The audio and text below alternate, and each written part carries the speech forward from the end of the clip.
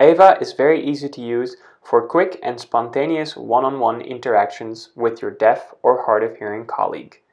All you have to do is start the app and start talking into the device so that the words show up on the phone. You can then show the captions to your deaf colleague. And if he or she does not verbally communicate, they can open the keyboard on the device and type their answer back to you. Ava can either voice the text out by using the text-to-speech function, or simply just display the text on the screen. When speaking into the app, make sure you hold the phone close enough so that your voice is accurately captioned by Ava. Using Ava this way makes it incredibly easy for you to have quick and spontaneous one-on-one -on -one interactions with your deaf or hard of hearing peers.